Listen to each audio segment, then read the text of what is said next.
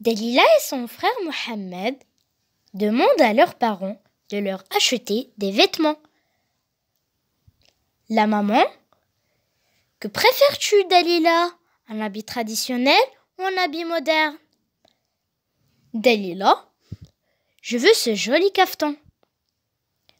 La maman D'accord. Et toi, Mohamed Mohamed Moi, je préfère un costume. Je l'ai vu dans l'autre magasin.